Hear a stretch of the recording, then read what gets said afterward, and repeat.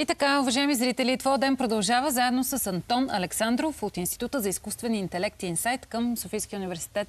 Здравейте и добре дошли при нас. Здравейте, приятно ми. Да кажем защо сте тук. Как работи първият български изкуствен интелект? Подчертавам, български изкуствен интелект. BG Chat GPT. Ще направим демонстрация. Първо обаче да разкажем какво представлява българския изкуствен интелект, как можем да стигнем до него, за да си говорим с него, да му поставяме въпроси и той да ни отговаря. Така. Че е работа да ни свърши в някои ситуации. А, български изкуствен интелект, който е всъщност базиран на генеративен модел за естествен език, е да. а, всъщност технология, която съществува от а, известно време, но е адаптирана конкретно за спецификите на български език и а, фактологията, както и естествено граматика, пунктуация и, и други. А, можете естествено всеки който има лаптоп или друго устройство, което е вързано към интернет и има браузър, може да го отвори през браузъра на chat.bggpt.ai или съответно дори от сайта на BGGPT също има препратка. И се отваря ето този И се отваря този прозорец да. тук. И а, ще трябва там да приемете а, съответните политики и да влезете с акаунт и вече сте готови да задавате въпроси или да го карате да ви генерира какъвто текст искате. Като казахте да приемем съответните политики, да изчистим въпрос с лични данни, взаимодействие с а, нашите а, устройства, през които влизаме в изкуствения интелект, в това приложение. Защитени ли са те? Insight прави всичко възможно да защити данните на потребителите, като това е едно от предимствата пред използването на продукти като тези на OpenAI, защото а, там всъщност не знаем какво наистина прави компанията с тях, а, докато ние а, с, те остават затворени само в държавата, в институцията, а, без да изтичат. Добре. И още нещо. Вчера изключителен взрив на коментари, публикации и интерес наистина към BG Chat GPT. Да уточним нещо много важно.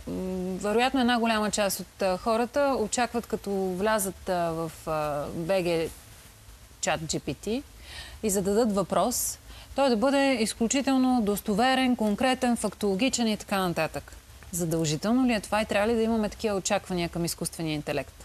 А, не, не е задължително. А, който езиков модел да ползвате, на какъвто и да е език, а, е най-вероятно да халюцинира, особено ако въпросите са а, с информация, която е по-трудно достъпна или не е била видяна по време на тренирането на модела. Защото той самият модел е статистически и работи на статистика.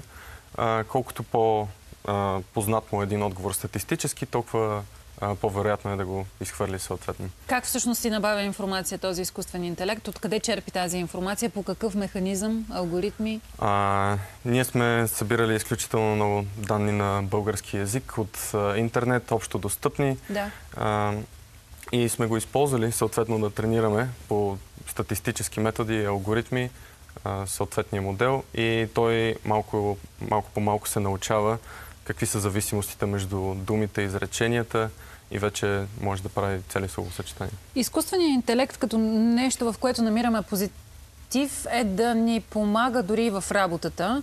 А, говорили сме как всъщност е възможно изкуственият интелект да пише писма и мотивационни, не само, рецензии, а, различни документи, които биха спестили време на всички нас, чисто като човешка ръка, която да го свърши и да го, а, да го измисли. Разбира се, не на 100%, защото експерти много пъти са казвали в нашия ефир, че е хубаво, когато имаме една информация от изкуствен интелект, тя да минава през нас, защото, пак казвам, не, не всичко е точно и фактологично. Точно така. А, винаги трябва да сме внимателни с това, което изхвърля модела, защото а, все пак той е много по-добър в това да генерира по-креативен текст, там където трябва да се примерно, както казахте, с мотивационни писма или цели Дайте да направим една демонстрация по идея да. на, на продуцента ни в момента Димчо Ирнанов. Едно мотивационно писмо да поставим като задача да ни напише български изкуствен интелект.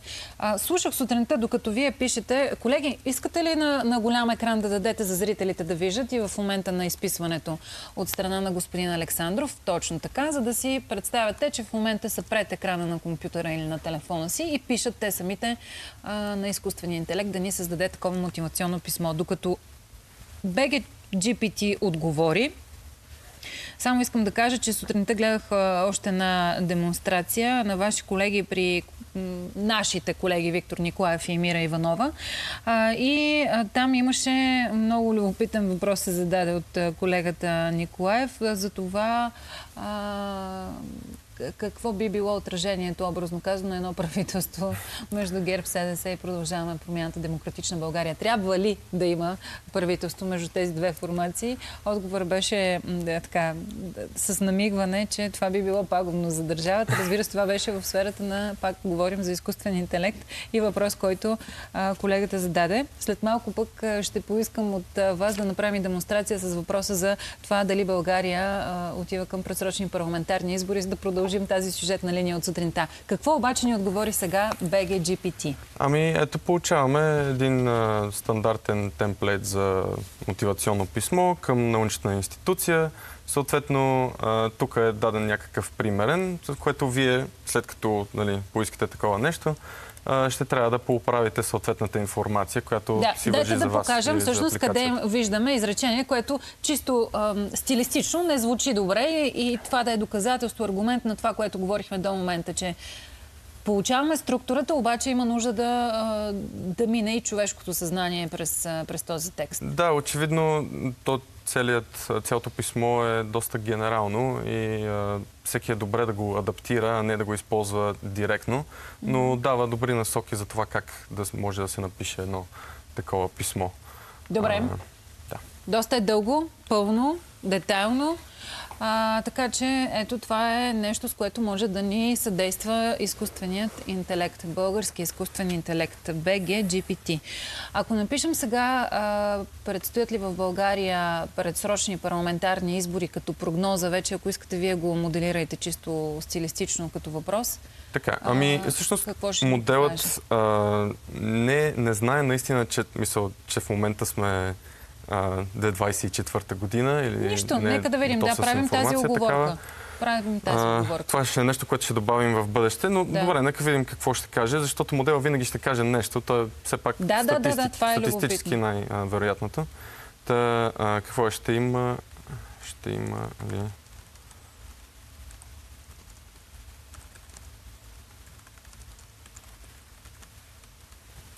Я да видим сега. Ще има ли скоро? Нямам информация. Добре, казва, че време. няма е, информация е в реално да. време, което е всъщност вярното тук. А... Добре. Как, така, в България правителството и парламента продължават да функционират, като се занимават с различни въпроси от национално значение.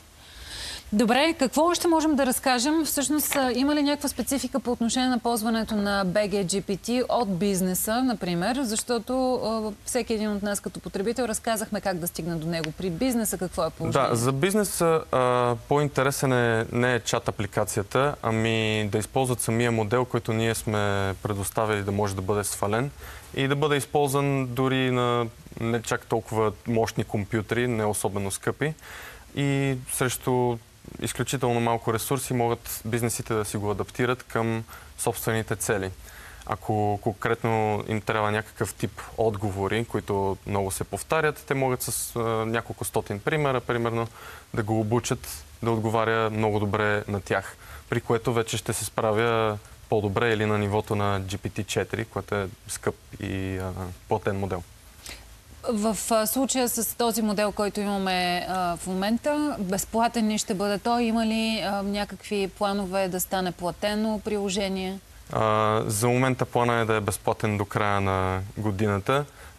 Ще видим как ще се развива, но за момента всичко предоставяме на публиката и на бизнесите. Да безплатно. Като подобрение какво предстои, като финален въпрос? Освен, вероятно, първо ще е информацията, с която да, да борави самия изкуствен интелект. Естествено, планираме изключително много подобрения, по които работим и в момента. По-големи модели, по-специални модели, да може да използва интернет, тъй като видяхме, че това е нещо, което а, хората изискват. А, също така а, може да персонализираме, хората да могат да ползват а, с собствени въпроси и отговори да си да, да, също както обясних за бизнесите, да могат да го настроят.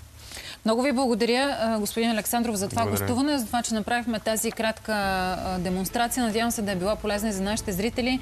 И, а, уважаеми зрители, да може да го тествате без страх, дори в момента, отваряйки си компютъра или телефона, да влезете в първия български изкуствен интелект. Поздравления на екипа и ще следим как ще продължи подобряването на, на приложението. Още веднъж успех. Благодаря. Това е финала на твоя ден, уважаеми